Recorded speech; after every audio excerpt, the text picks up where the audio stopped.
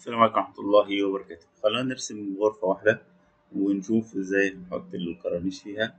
طيب أول حاجة هعملها أقول له إن أنا عايز أرسم wall وأبدأ أرسم الغرفة بتاعتي. طيب لازم أخش أظبط ال unit عشان أبقى فاهم أنا برسم إيه.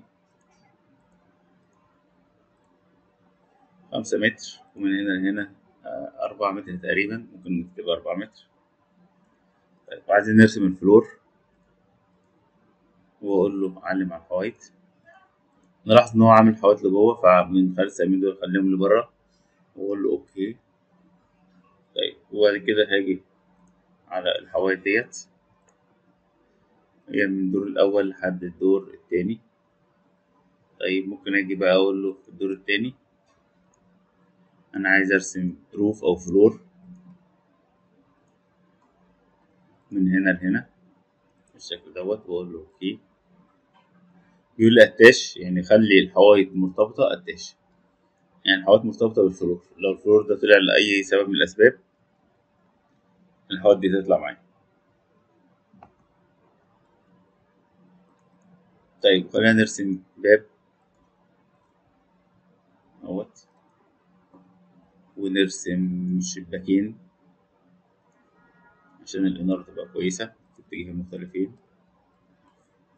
هنا ممكن بقى نقول له إيه؟ أنا عايز ال dimension دوت. ممكن أقول له أنا عايز dimension من أول هنا. وممكن ألغي الجزء ده من ال dimension أقول له edit وأدوس أي مكان بره. ممكن ال dimension دوت أخليه أي رقم أنا عايزه. تمام؟ ممكن تخليه مثلا خمسمية مثلا أو سبعمية. طيب ممكن ال dimension ده أديله رقم معين أقول له ده خليه مثلا دور. okay. ده كده بقى parameter معين فلما تغير فيه ممكن يكون عندك أكتر من باب. يبدأ يغير فيهم كلهم. يعني ممكن أجي هنا وأقول له إيه المسافة دي؟ نفس الفكرة. ممكن أقول له ألغي دوت أقول له خلي ده الرقم ده دي. فأصبح بقدر أتحكم فيه كلهم في نفس اللحظة. ولو أنا عايز أتحكم في الرقم هاجي هنا من مانج وأقول له أنا عايز ال project parameter فألاقي لأ مش ال project global parameter. فألاقي عندي هنا فأقول له خلي ده مثلا تلتمية وخمسين. فتلاقيهم اتغيروا كلهم مرة واحدة. طيب عايز أعمل آه زي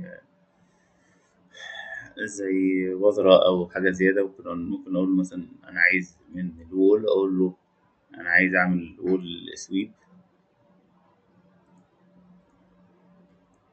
طيب عايز أشوف جوه المبنى فأقول له أنا عايز أعمل section box ال section box بالظاهر فأجي هنا أتأكد هل هو فعلا في section box ولا لأ.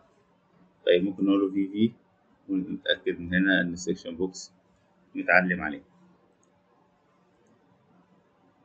ده ال section box أهوت. ممكن نعلم على البيت ده على طول وأقول له اعمل لي section box ويعمله بالشكل دوت. فأنا هنزل جوه. طيب اللون اللي باهت لو أنا عايزه ميبقاش باهت هختار architecture يبدأ يظهر لي الحاجة بالشكل دوت.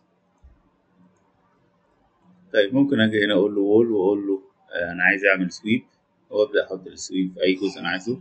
خلينا أخليه قاطع لي الشباك اهوت وقطع الباب اتعمل بالشكل ده طيب حجمه كبير ممكن تيجي هنا edit type وتبدأ تختار profile يكون رفيع شوية تبدأ تختار اللي انت عايزه.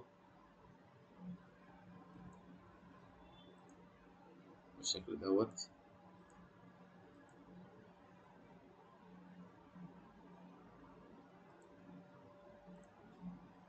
عجبني الشكل دوت. طيب ممكن نعمله بشكل آخر؟ آه ممكن نعمله بشكل آخر. ممكن أقول له أنا عايز component وأقول له آه إن أنا عايز أعمل model in place وأختار مثلا wall okay. وهبدأ أعمل مثلا sweep زي ما أنا عايز. مثلا هقول له sweep وعندي هنا sketch path هبدأ أرسم ال path بتاعي. أو pick path هبدأ أعمل click ويبدأ يرسمهولي. بس زي ما شايف في خط هنا زيادة هضطر إن أنا أشيله بعد كده.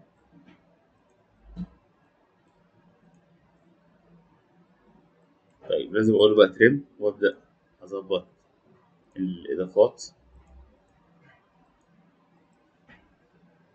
تمام؟ آه أقول له okay. محتاج بقى إن أنا أرسم ال profile.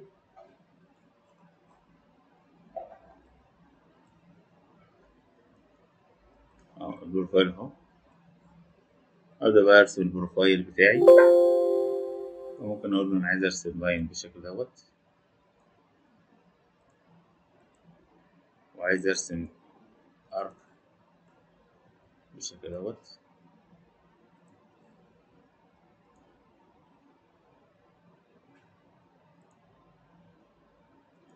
بالشكل اللي أنت عايزه.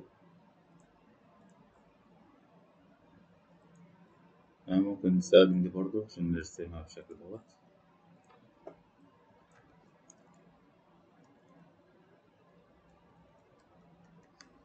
أوكي. ويبدأ ياخد الحاجة دي ويبدأ يرسمها على المسار كله. مهم بالشكل ده.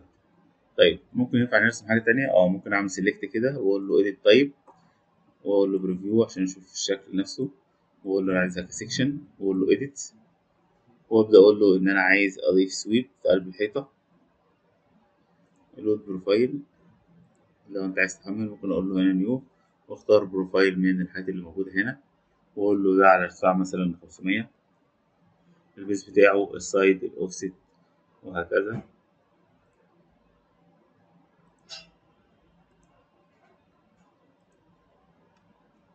لو جيت تبص هتلاقيه رسمها هنا في الحتة ديت. طيب لو أنت عايز ترسمه جوه خش هنا في ال edit. طيب ال edit modify أو خلينا نقول له sweep أهوت. طيب ال side هقول له لا خليها في الجهة الداخلية. interior okay okay فيبدأ يدخلها لك جوه فيبقى أنا عندي رسمت الوزرة ديت بثلاث طرق بالشكل دوت. كل واحدة فيهم ليها ميزة وليها عيب تقدر إيه تشوف أدي الأفضل ليك. يعني اخر طريقة دي مثلا هتمسك كل الحوايط في المشروع كله هيضيف الوزره ديت. فهل ده اللي أنت عايزه ولا لأ؟ تمام؟